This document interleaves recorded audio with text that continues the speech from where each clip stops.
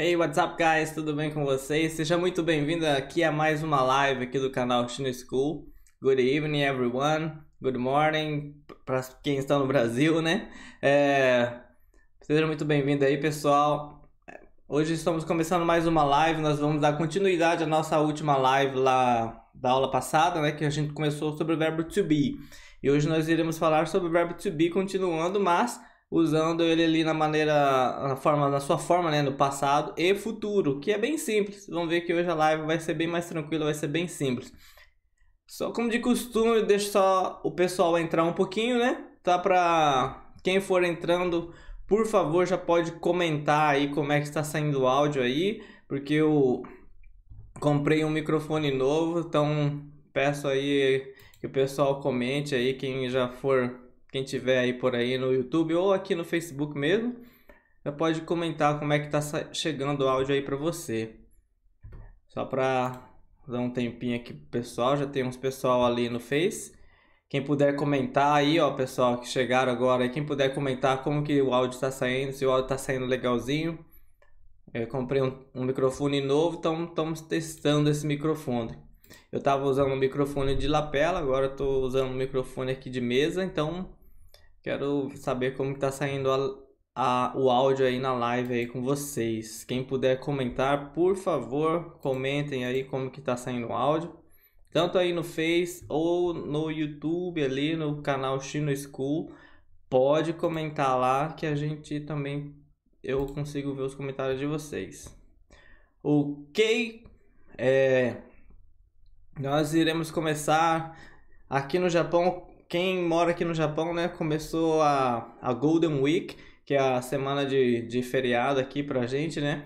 Mas quem tá lá no Brasil não tem esse feriado, né? Então quem tá aqui no Japão provavelmente talvez deve estar tá aí se divertindo aí no, no fim de semana, mas quem não puder assistir a live agora, pode assistir depois. Aí vai estar lá no canal Chinese School e também no meu Facebook aqui da, daqui do, do Japão, o Junior Shinohara, tá? Então, quem puder assistir depois também, né? Tem uns pessoal já assistindo aqui ao vivo, mas quem puder assistir depois, assista, que é bem importante a aula de hoje, hein, pessoal? A Marika comentou que o, que o áudio tá legal, ok? Então, uh, no YouTube lá também tem alguém, alguém pode comentar, alguém tá no YouTube ali, deixa eu ver se tem um, se tem alguém o áudio tá ok, então tá ok aqui no YouTube também. Bom, só lembrando aos pessoal aqui, né? É, os pessoal que mora aqui na região de Wata, aqui, especialmente aqui, é, principalmente aqui no Japão. É, nesse mês agora de maio, no dia 22 de maio, estaremos começando uma nova turma presencial.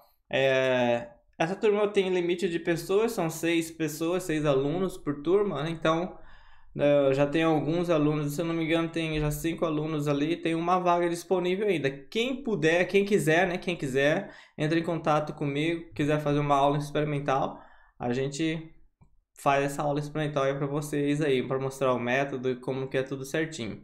Quem tiver alguma dúvida, pode mandar mensagem aí, que eu tiro essa dúvida aí para vocês. Questão de valores, horário e tudo mais. Também lembrando que temos a nossa aula online, né?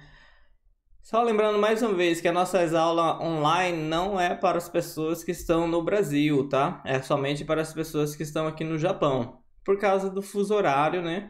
Então é legal, não fica muito legal os horários do Brasil com o Japão, dá essa, essa, essa divergência aí de horários, ok? Bom, é, Deixa eu ver aqui no YouTube também, aí já, tem, já temos alguns telespectadores ali no YouTube e também já temos alguns aqui no Facebook. Como de costume, eu não gosto de, de fazer uma live muito prolongada, é, lembrando com vocês. Eu dou uma introduçãozinha aqui de 5 minutos no máximo, só para o pessoal ir chegando. É, Gosto de ser um pouco pontual aqui, eu gosto de ser pontual nas nossas lives para não ser uma live muito cansativa e a gente absorver o máximo daquele assunto que iremos tratar hoje. Então, o assunto de hoje será o verbo to be no passado. Quem deixa eu ver aqui no YouTube ali, quem puder já no YouTube já está sendo transmitido também. né? Eu já consigo ver aqui também no, no meu aqui na minha tela. Então, sem mais delongas, nós já vamos começar a nossa live e a nossa aula de hoje, né? Lembrando que essa, essa é uma aula explicativa simples, mas quem puder rever ou perguntar ou fazer perguntas durante a explicação, pode deixar no comentário aí que eu vejo depois, porque na hora que eu estiver explicando ali, eu não vou, não vou mais conseguir ver o comentário ali de vocês, mas depois eu no final eu vou e mostro os comentários ali e respondo algumas perguntas se tiver, ok? Então, vamos lá para a nossa sala virtual. Ó, o Thiago já está ali no YouTube também. Vamos lá, Tiagão. Vamos lá, o nosso feriadão aqui começando, mas, né, a gente não pode perder o foco. Às vezes alguns alunos falam que, né, eu falo que os alunos estão de folga, de férias, eles perdem o foco e acabam nem pegando mais o livro durante o feriado. Seria legal vocês pegarem o livro durante o feriado também, nem se for um pouquinho ali, meia horinha ali, quando você chegar em casa ali, tomar seu banho, pega um pouquinho o livro, dá uma lidinha ali para relembrar algumas palavras e algumas regras que foi passada nas lições. Ok? Então vamos lá. Vamos lá para nossa aula de hoje. Então depois eu, eu coloco os comentários de vocês aí na tela. Pessoal, vamos lá para nossa aula de hoje. Deixa eu mudar aqui para nossa sala virtual. Bom, nós já estamos aqui na nossa sala virtual. É... Quem ainda não é inscrito lá no canal, né, por favor, vá lá no canal Chino School lá no YouTube e se inscreve lá. Que eu não estou postando vídeo ultimamente, mas eu estou postando nossas lives lá. Eu, futuramente eu, eu irei post, voltar a postar mais vídeos explicativos. Mas o pessoal que tiver aí é, sugestão de vídeos ou, ou dúvida, né? Aí eu posso gravar um vídeo e, e para vocês e postar lá no canal também. Então vamos lá, pessoal. Tá aqui. Uh, aprenda o verbo to be. Só que agora nós iremos ver no passado na sua forma passada, que é bem simples, tá? O verbo to be é bem simples. Quem não assistiu a live passada, eu aconselho que assista, né? Talvez se você tiver com dificuldade de, de você pegou agora e começou agora a assistir essa live agora já o verbo to be no passado e tiver com dificuldade, eu aconselho que você pare de assistir essa live agora e assista a live passada, depois volte nessa live e, e assista. Mas se você quiser acompanhar e depois assistir lá, hum, vai, também vai conseguir é, aprender. A mesma regra que é usada no, no presente é usado para o passado também. O futuro muda um pouquinho, mas é muito simples. Vamos lá. Bom, coloquei aqui novamente né, a conjugação do verbo to be. Lembra que na, aula, na live passada a gente viu aqui a conjugação no, no presente e hoje nós iremos ver no passado. Então, só para relembrar do presente, o verbo to be, como eu disse, ele é um verbo diferenciado. Ele não, o, não, tem, uma, não tem uma conjugação é, igual aos outros verbos. Como eu coloquei no, outro exemplo, no exemplo na, aula, na live passada. Então, só para relembrar a conjugação do verbo to be aqui no presente, é I am, quer dizer eu sou, eu estou. You are, você é ou está. He is, she is, it is, we are, you are, they are. Mas quando nós queremos usar aqui no plural, ah, os plurais, né, nós, vocês e eles ou elas, usa-se are. E quando você é usado aqui na terceira pessoa, do singular, no caso he ou she, em inglês tem o it, usa-se is. E o you, na verdade, é igual tanto no singular no plural. Na verdade, a, a, o pronome you em inglês não existe plural, só existe no singular, mas é o mesmo, na verdade, ele é o mesmo no, no plural. Então, às vezes, fica difícil saber quando eu quero falar você ou vocês em inglês. É a mesma coisa. E, e na primeira pessoa aqui, no caso, eu, I am, tá? Ok, então essa é a conjugação. A gente viu na live passada. Então, existe três formas de conjugação. Am, are e o is. Isso falando no presente. Mas no passado é muito mais simples, só existe duas conjugações. Então, fica um pouco mais fácil. Então, para eu falar que eu era, ou eu estava, ou eu fui. Só que no inglês, é, no português, tem uma tradução a mais que a gente usa esse foi aqui no sentido de, de que eu fui, fui alguma coisa, eu fui um jogador de futebol, eu fui é, um astronauta, ou algo assim, tá? Não de eu fui à mercearia, eu fui ao mercado. Não de foi de ir, mas sim de foi de era, né? No caso do verbo to be, do ser e estar. Ok? Então, vamos lá na conjugação do verbo to be no passado. Então, no passado, na forma passada se diz I was, quer dizer, eu era, ou eu estava, ou eu fui, né? You were, atente-se na pronúncia were, coloque, não coloque um acento aqui, é, where, por exemplo, where, não coloque isso porque senão vai virar a palavra onde, né? Where. E esse aqui é were, were, were, ok? Tem que falar were. Ok, então you were, he was, she was, it was. Então a gente nota que se eu pegar esse you, né, que é a mesmo, é o mesmo desse you aqui e botar ele aqui embaixo, é, usa-se para I, he, she, it no passado was. Então e nos plurais usa-se were. Então we were, you were, they were. Ok? Então, we were, nós éramos, nós estávamos, nós fomos. You were, vocês eram, vocês estavam, vocês foram. E they were, eles eram, eles estavam, eles foram. Então, essa praticamente é a conjugação do verbo to be no passado. Para quando eu quiser formar uma frase, né, no passado, usando o verbo to be para dizer que eu era, para dizer que eu estava, para dizer que eu fui a alguma coisa, eu uso essa conjugação. Eu tenho que memorizar essa conjugação. Só isso e nada mais. Uh, o verbo to be é praticamente isso, não se acrescenta mais. É a forma presente e a forma passado. Não tem outra coisa. É muito simples. Só que é claro que existe a negação. A gente coloca o not e depois. E para fazer pergunta a gente inverte, como eu vou mostrar aqui no slide, no próximo slide. Aqui. Eu coloquei aqui na afirmativa, né? Affirmative, affirmative Afirma, afirmativa quer dizer que a pessoa está afirmando, então não usa o not, só usa como a gente fez ali. E para negar the negative form, a, a, forma negativa, se usa o not depois, somente colocar o not depois. Então eu vou falar I was not, you were not. É só colocar o not depois. Nessa coluna aqui, eu fiz a contração do was com not.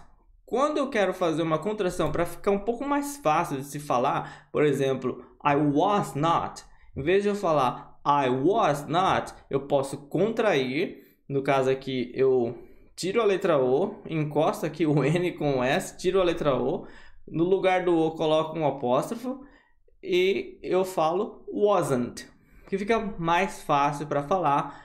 É, e menos para escrever, nem tanto, mas para falar, quando você está numa conversa, as contrações ajudam muito a hora de você estiver falando ali na, no, num contexto rápido ali. Então, as contrações servem para isso. Num contexto rápido de conversa, você ser mais dinâmico, mais rápido ali na hora de se falar do que falar I was not, ou sei lá. Então, falar I was not é um pouco longo, né? Então, a gente já já, já pode falar I wasn't, I wasn't. Então, you were not, you were not, e você pode pegar o were, juntar, juntar com o not, e que fica weren't, weren't. Então, you weren't. Então, you weren't é, é mais fácil numa conversa eu falar you weren't do que you were not, you were not. Não existe uma regra ali, né? Tá, na verdade, se você falar you or not, você está sendo corretíssimo. Essa é a maneira correta de se falar. A contração não é errado você usar a contração, não existe coisa errada, não é, não é mal educado usar a contração na hora de falar. É apenas que hum, eu, por mim, eu nunca vi é, lendo a Bíblia usando contração. A Bíblia eles realmente não usam contração porque é um texto bem formal, então provavelmente eles não vão usar contração. Eu nunca vi, já li a Bíblia em inglês, nunca vi usando contração na Bíblia. Então, só nesse tipo de caso, mas em qualquer outro caso vocês podem usar contração à vontade. A não ser que seja extremamente ali formal, aí a contração não é, é não é escrita. Porém, quando o, o narrador ali tá lendo a Bíblia, ele lê com a contração. É, mas na escrita, às vezes tem alguns professores, alguns professores de inglês lá, eles não eles preferem não contrair para ficar um pouco mais formal o texto, mas que não seja errado, ok? Então, em vez de falar you were not, eu falo you weren't. E he was not, he wasn't. Ou she wasn't, it wasn't. We weren't, you weren't, they weren't. O que, que significa I wasn't? I wasn't. É, é eu falar I was no na, na negativa. Então, I was, eu estava, ou eu era, ou eu fui. Então, I wasn't quer dizer eu não estava, eu não era, eu não fui. Então, muito simples, né? Então, para eu negar, é só colocar o not ou usar a contração.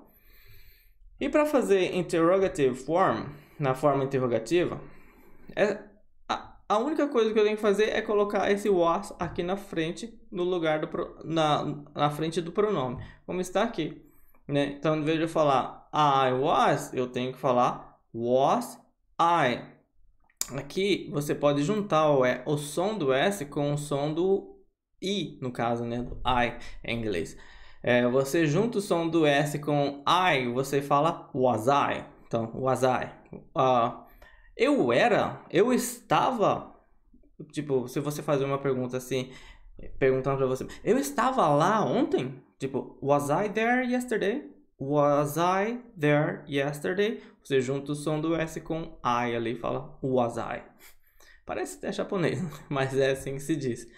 É, e o were você coloca na frente do pronome, mesma coisa. Então é só inverter, não tem que colocar nenhum. É igual como a gente viu no, no presente ali, fica a mesma coisa. Então, were you, was he, was she, was it, junta também o som do S com I, was it, é, aqui usa, junta esses dois S aqui, em vez de falar was she, então was she, então seria mais ou menos assim. E were we, were you, were they, ok? Então essa seria a forma interrogativa, affirmative, negative, interrogative form, alright?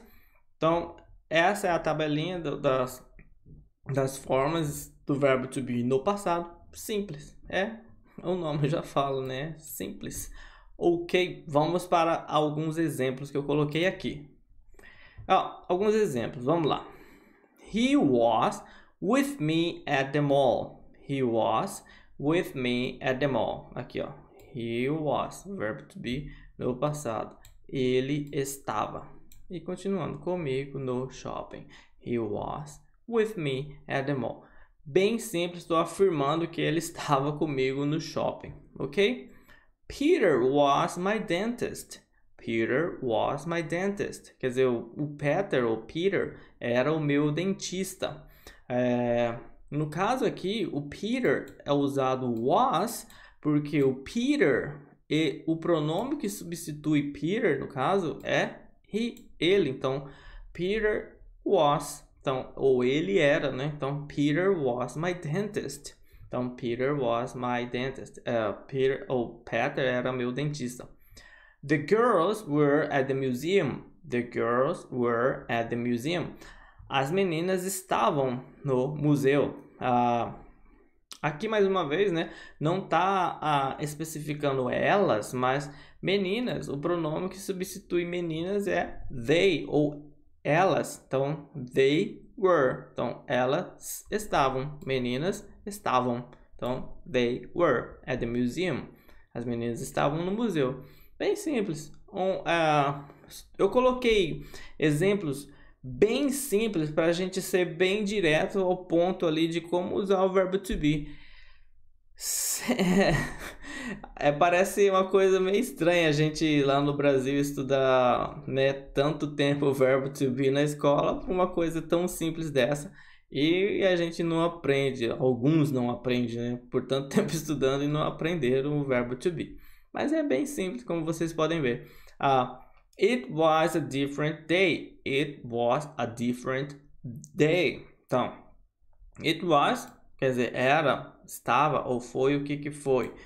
Uh, o que que estava aqui que foi? O, o dia diferente. Então, It was a different day. Foi um dia diferente. Então, it was, ok?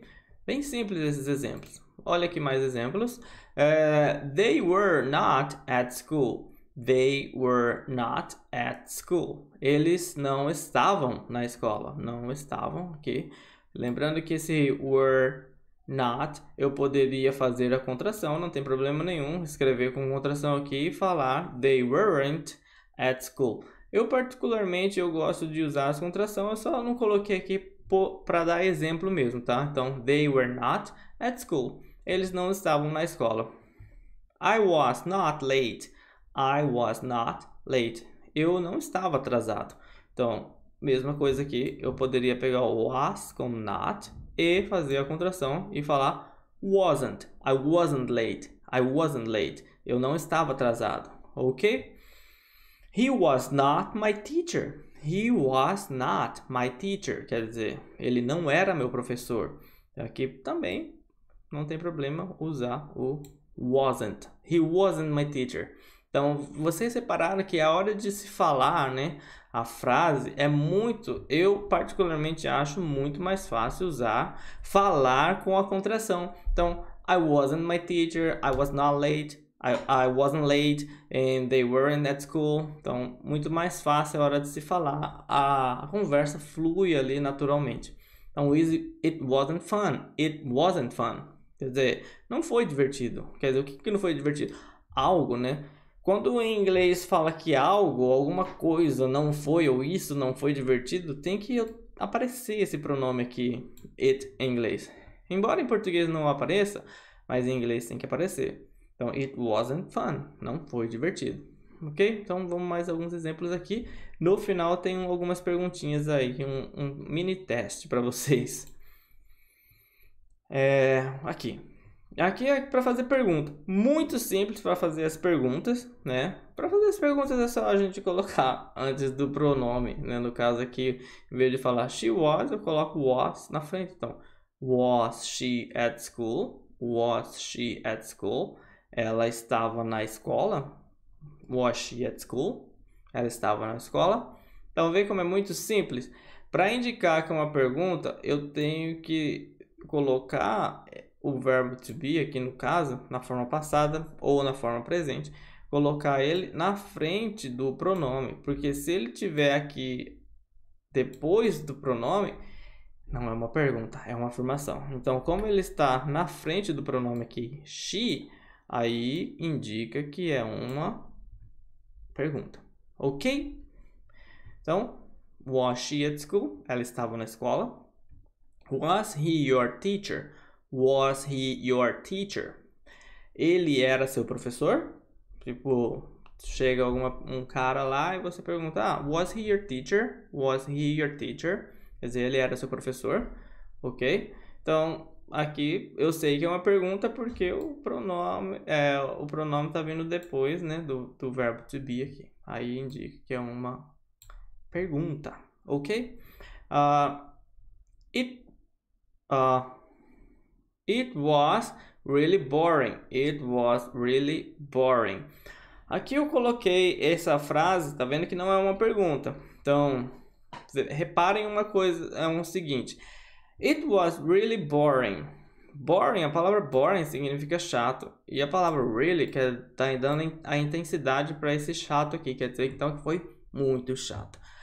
Uh, como aqui it was pode ser traduzido como era, estava ou foi. Então, essa frase vai depender, depender da situação para eu poder traduzir como foi chato ou estava muito chato. Vai depender muito da situação. É, talvez isso que você disse aí foi chato e não foi legal. Então, mas boring no caso não seria a palavra usada aí. Então, é, temos duas maneiras para traduzir essa frase em inglês, né? Que foi muito chato ou estava muito chato. Por exemplo, eu posso falar que a festa ontem foi muito chata. The party was really boring, né? Então foi muito chato. Ou poderia falar que a festa estava muito chata. Que em inglês só existe uma maneira de se falar. Em português nós temos duas maneiras de se falar. Foi muito chato, ou estava muito chato, ou a festa era muito chata. Talvez, né? Mas normalmente a gente fala foi que a festa foi muito chata ou, ou estava muito chata ou algo assim. Então aqui só para eu coloquei só para a gente ver que tem possibilidades de traduzir em português, mas em inglês fica a mesma coisa, tá? No caso aqui não tá a palavra festa específica, eu só estou dando exemplo porque tá o it. Eu estou usando a festa porque festa é o it, é alguma coisa, então eu não sei que coisa é essa, só um exemplo como festa. Poderia ser qualquer outra coisa ok? E aqui eu coloquei Mary and John were really nice to us. Mary and John were really nice to us. É, aqui usa-se were por causa, por causa que eu estou usando Mary e estou usando John. Então, Mary and John, o pronome que substitui Mary and John seria they, eles. Então, they were. Então, they were really nice to us quer dizer, Mary e John, foram muito gentis, né, com, com, com a gente. Então, Mary e John were really nice to us, ok?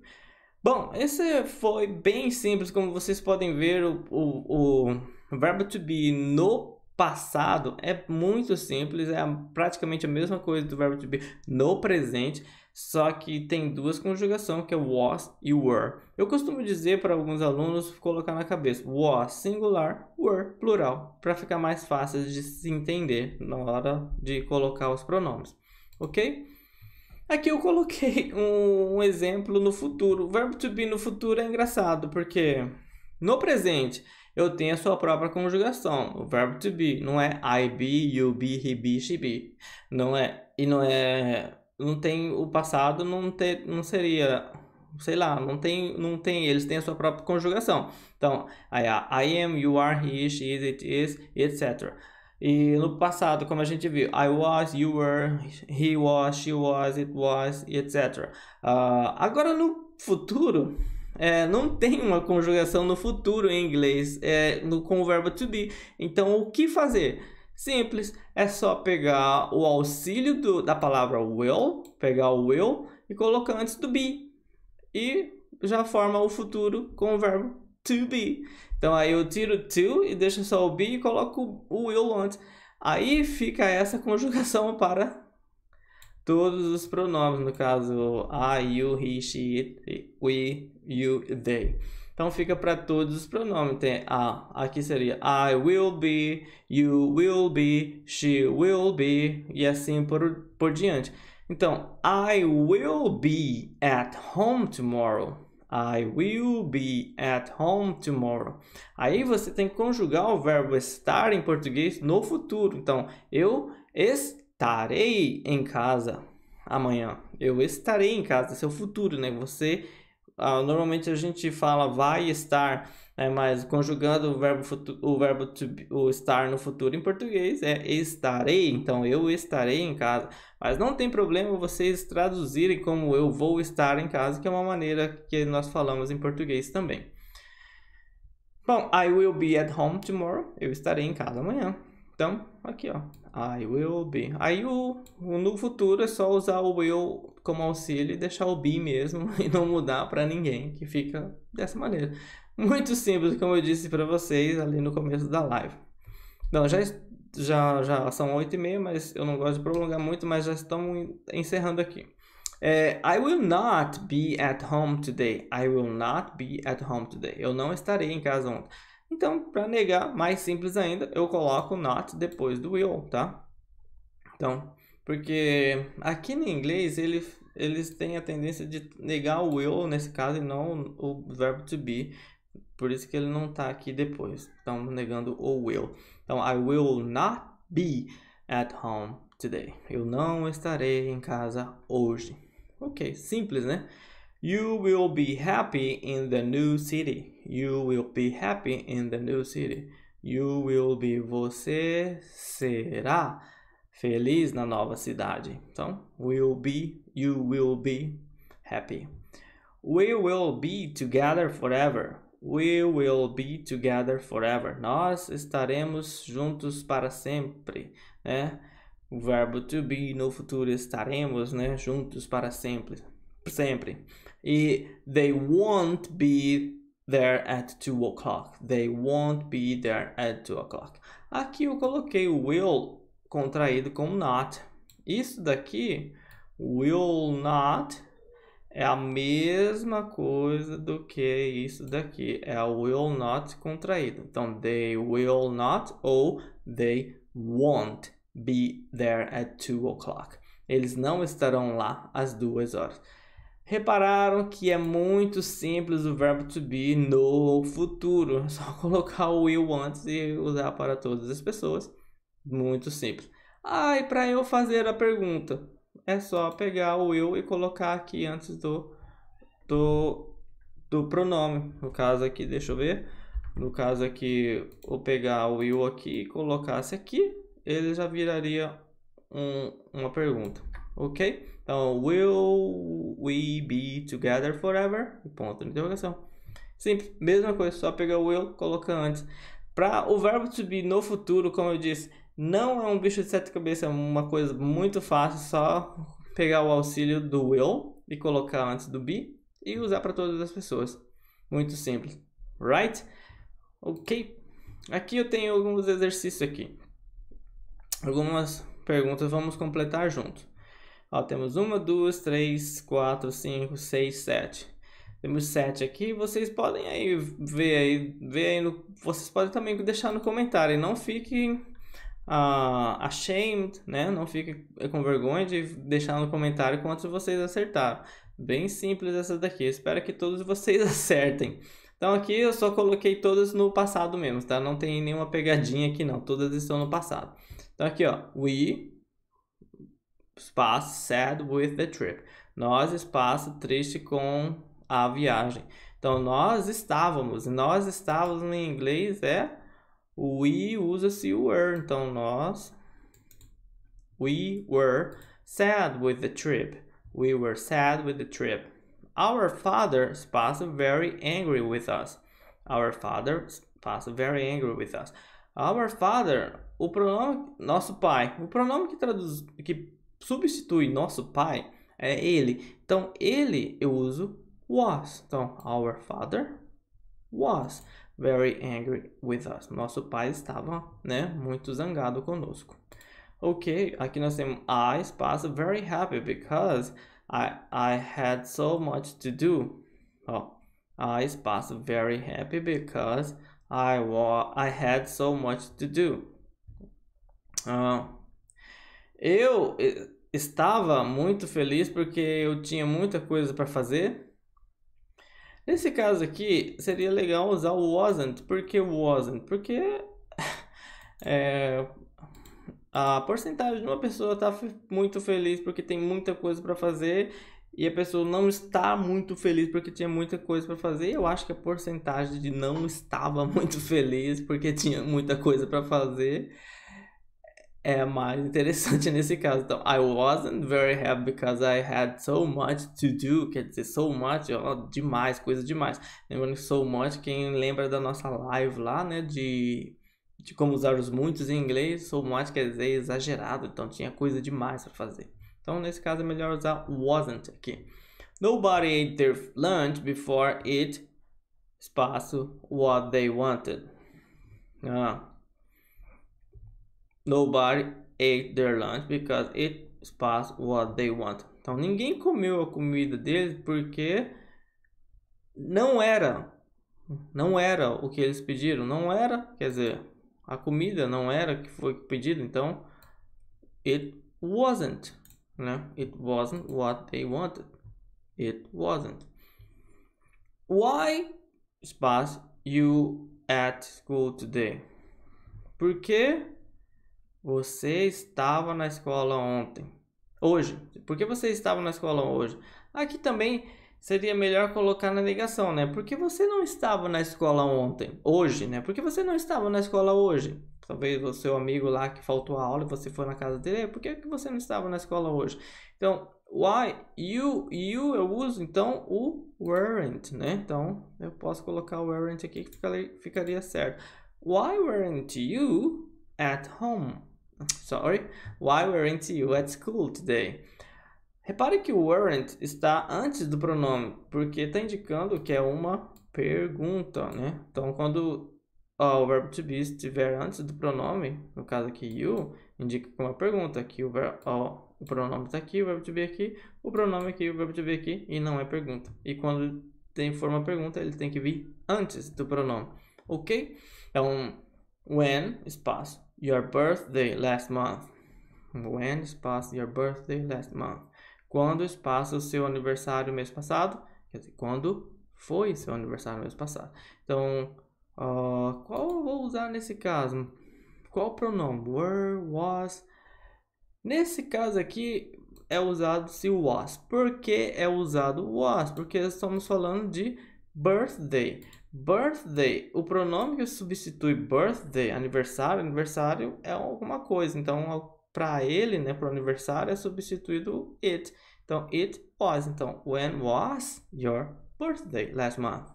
Ok? E que por último, I espaço happy when I heard about the accident. Eu feliz quando eu ouvi sobre o acidente. Quer dizer, eu não estava feliz, né, quando eu ouvi do acidente. Então, aqui nesse caso seria o wasn't. Né? I wasn't happy when I heard about the accident. Eu não estava feliz quando eu ouvi sobre o acidente. Então, quem acertou aí todas essas essas essas perguntinhas aí já já tá meio caminho andado aí com o verbo to be, ou já tá mais do que meio caminho andado, você já tá uh, quase dominando aí o, o verbo to be no passado. Mas como eu disse, o verbo to be no passado não é muito difícil. Alright? Se vocês puderem comentar aí quantos vocês acertaram, quantos vocês erraram, seria legal para ter essa interação comigo aí também. Oh, opa, aqui acabou nossos slides. So thank you very much for watching this live. Uh, I hope you guys enjoy it. Let's see the comments now. Deixa eu ver alguns comentários aqui, se tem alguns comentários do pessoal. Deixa eu ver, deixa eu ir lá no, no Face. Quem comentou lá. Uh, aqui no YouTube, o, o Thiago, cadê? Deixa eu ver os comentários aqui.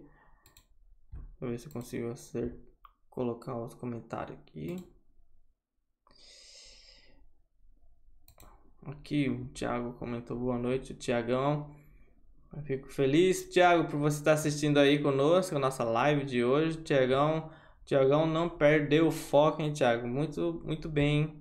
O Thiago, quando começou a estudar aqui com a gente, é, sabia bem pouco, né, Thiago? Hoje o Thiago tá com o inglês aí afiado. Ele já entende muita coisa, já tem, teve um, acho que um ano, um ano e meio estudando aí, já entende muita coisa por, pelo que ele estudou, já entende bastante coisa.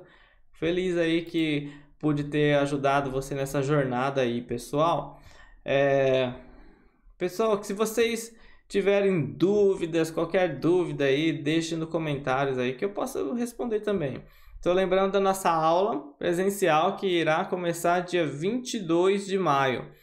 Lembrando que é para o pessoal aqui na região de Iwata, né? Pessoal aí de Fukuroi ou é, Hamamatsu, talvez, perto aqui de Iwata, ou até mesmo Kakegawa, né, na cidade ali, aqui do lado. Se quiser, entre em contato, ainda temos vagas ali para alguns alunos. E, e vamos estudar, não vamos perder o foco, vamos, vamos tentar falar esse inglês aí, que é uma língua universal que o, você pisar em um aeroporto internacional, você ali já tem que falar inglês ali com o pessoal, o pessoal já quer falar inglês com vocês. E é muito legal você saber se comunicar, se, é, se interagir com outras pessoas que não falam a sua língua. Isso é bastante gratificante. Vocês vão ver que esse esforço que vocês estão tendo ali desde o comecinho ali, é, vai valer a pena vocês é, continuar ali persistir e estudar o inglês. Ok, pessoal? So, thank you very much for watching this live, guys. I hope you guys enjoy this live. Uh, enjoy your holidays, you guys, here in Japan. And see you guys next live. Ok, pessoal? Muito obrigado por assistir essas, essa live junto comigo de hoje. E esse pessoal aqui do Japão, aproveite o feriado e até a live que vem. E o pessoal do Brasil, bom dia aí para vocês. Tenham um bom dia. Até a nossa live que vem. Peace.